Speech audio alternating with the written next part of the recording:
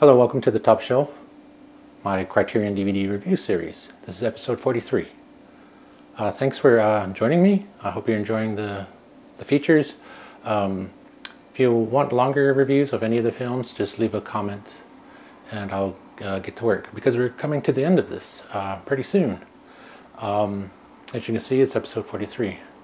Uh, my name is Ernest Whiteman III. I'm a Northern Arapaho filmmaker artist, writer, and media educator. And I'll um, maybe do a video on how I came to be all those things. Uh, and we're looking at my top shelf, my Criterion DVD collection. Um, we'll pull one at random. I'll give you a short synopsis. Uh, look at the features, if any.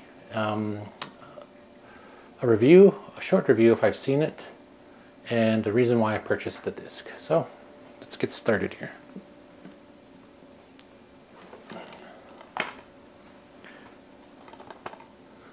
When We Were Kings. Um, this is one of the, uh, from what I've seen, in one of the great boxing documentaries, but because it goes way deeper than just boxing.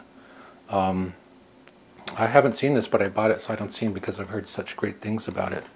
And who can really turn down the great Muhammad Ali? Um, so that's the main reason I bought it. I, I was always interested in seeing it.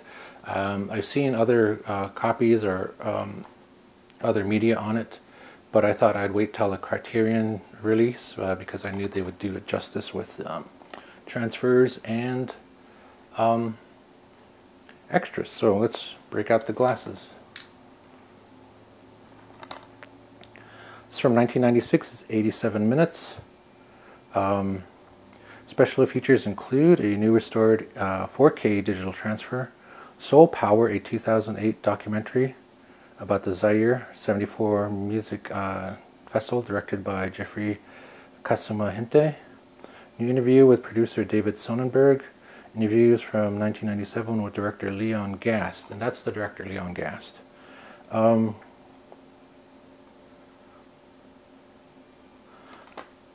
I remember there being a Soul Power documentary. I don't know if it was a re-release, but it um, it's like maybe from a few years ago and it looked really incredible. And I'm always glad when they include extra long uh, feature length uh, material on these things uh, because it's like you're getting two for the price of one. And I think I bought this at the half price sale. Um, so I got two for a quarter price. Maybe. Uh, two for half price.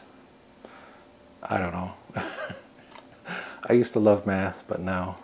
Uh, um, but it talks about the Rumble in the Jungle and all the events leading up to it, uh, his great fight with George Foreman. And of course, uh, Muhammad Ali has always been a prolific um, activist.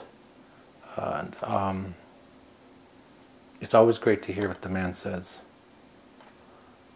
especially in these times.